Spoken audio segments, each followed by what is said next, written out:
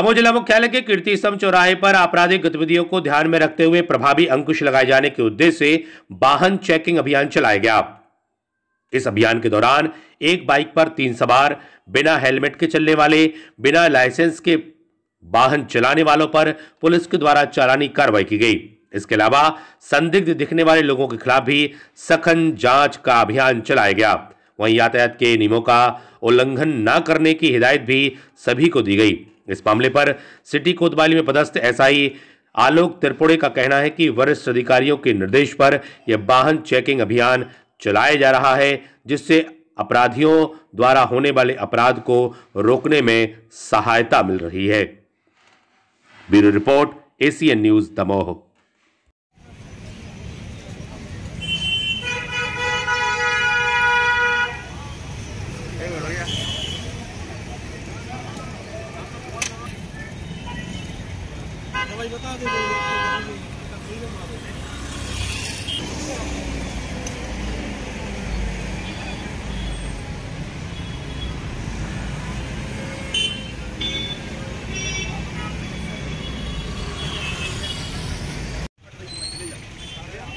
आप बता सर हम गलती की दोबारा में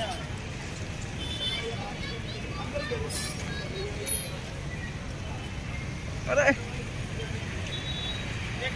ये कोतवाली पुलिस का और दमो पुलिस का एक वरिष्ठ अधिकारियों द्वारा जो है आदेश निर्देश प्राप्त होता है। ये रूटीन प्रक्रिया है वाहन चेकिंग। और आज भी उसी तारतम्य में वाहन चेकिंग की गई।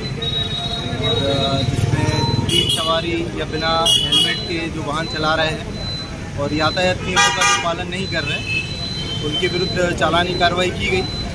और जो व्यक्ति संदिग्ध प्रकृति के लोगों को लगते हैं उन लोगों के को चेक किया गया। तो ये रूटीन प्रक्रिया है जिसका पालन किया